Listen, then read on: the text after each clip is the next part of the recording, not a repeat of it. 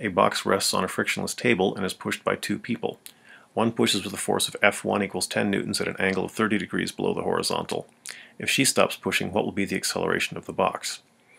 Since this is asking about acceleration and telling us forces, we probably need Newton's second law here, which relates the net force to um, the mass and the acceleration of the box. F2 here was not specified in the text. We see that it's 60 degrees below horizontal and to the left. We don't know its magnitude. Since this is resting on a table, we know that it's not going to be moving up or down, so there's a normal force from the table that's going to be pushing up to counteract the y components of forces F1 and F2, whatever that's necessary.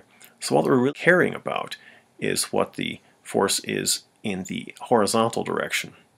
I've set up some axes here, plus y in the vertical up direction and plus x in the horizontal to the right direction, which is pretty conventional, but there's no reason that we have to do it that way. It just works out um, in a large number of cases. It might not have been the best most convenient choice of axes for this particular problem, but it'll work.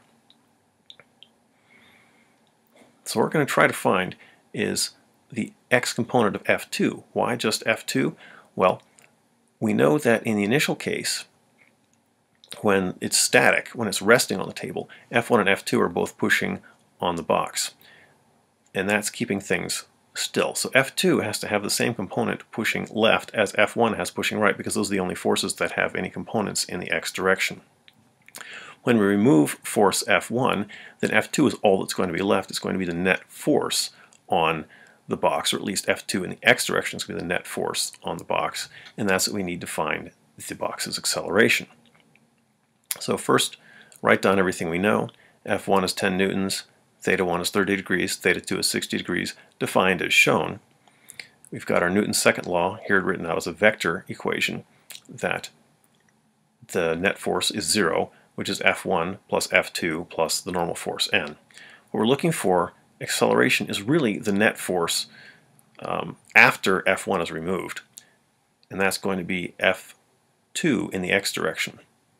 And we're going to divide that by the mass to give us the acceleration.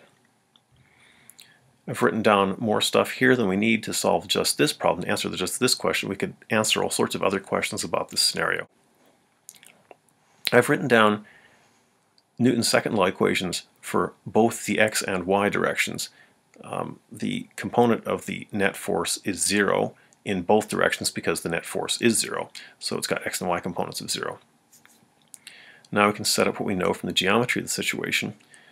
F1 in the x direction is just f1 cosine theta 1. f1 in the y direction is minus f1 theta 1, sine theta 1. Why minus? Because this is down. And then f2, same kind of thing, um, minus f1 cosine theta 2. Why is this minus whereas f1 was positive? This one's minus because force 2 is pushing to the left and down, whereas force 1 was pushing to the right, which was the positive direction. F2 in the y direction is also negative because it's pushing down, which is the negative y direction. The normal force has no component, zero component in the x direction because it's purely a vertical force the way we've set up our axes. And so all of its magnitude is in the y direction. What we're concerned with here is the x. Let's see if we can get that. All that we really want is f2 sub x. What I've done is solved the Newton's second law equation for f2 sub x by subtracting away f1 sub x and n sub x from both sides. That's what we get here. And we've got everything we need. n sub x we know is 0. f1 sub x, well that's just f1 cosine theta 1. We've got numbers for those. That's 10 newtons cosine 30 degrees. Don't forget the negative sign. To give us minus 8.7 newtons is the net force acting on the box, and it's in the negative x direction. Well, I should say 8.7 newtons in the negative x direction.